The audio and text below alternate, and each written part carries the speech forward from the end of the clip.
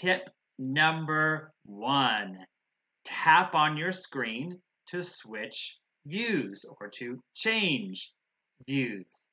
On the left, we have the student view. The student video is bigger than the teacher video. On the right, we have the teacher view. The teacher video is bigger than the student video in this view. Tip number two, ro rotate or turn your device for a better view. On the left, the video is smaller. On the right, the video is bigger. Tip number three, tap your device for menu options. And you will see menu options at the bottom of your screen. Tip four, mute your device. Tap on the mute button to reduce background noise. You can always unmute later when you want to talk. Tip 5. Tap on More to chat, to talk.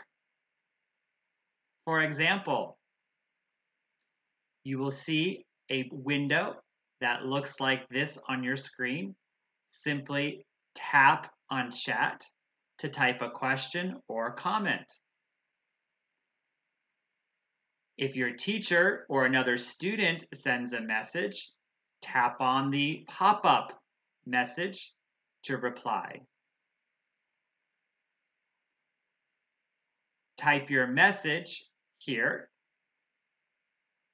then tap send for your recipients to read your message.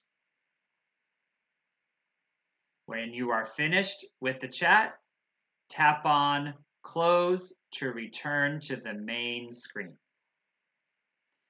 Tip number six, tap on Participants to raise your hand just like you would in class tap on the raise hand button to let your teacher know you have a question. Then tap on close to return to the main screen. Swipe to the right, to the right, to the right, to speak.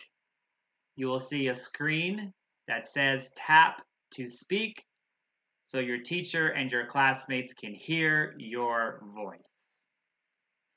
Thank you and see you on Zoom.